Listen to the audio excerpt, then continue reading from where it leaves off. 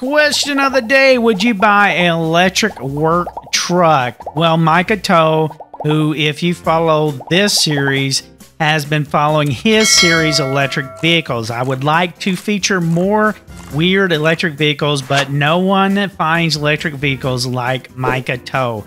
And this week, we're going to talk about his article regarding a $3,200 electric dump truck. That's right, it's a dump truck. Now, he has bought an electric truck before. He thought, why don't I get a bigger one? Now, this electric dump truck problem, number one, it has is it has a manual dump.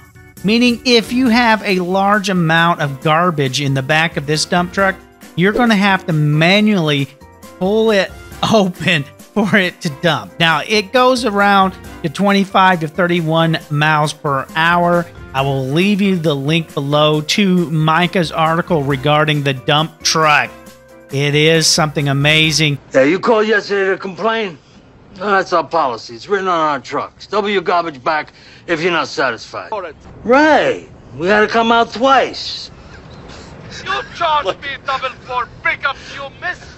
It has a, it looks like it has a sunroof and fan. It has a large space cab. There's a storage box. Uh, it is what you would expect for $3,200. And if you like to drive, why don't you go to eBay Motors? They've got everything for your vehicle needs. Maybe find some electric car parts. Thank you for subscribing, liking, and sharing right here on the Coconut Daddy channel. Who's your daddy?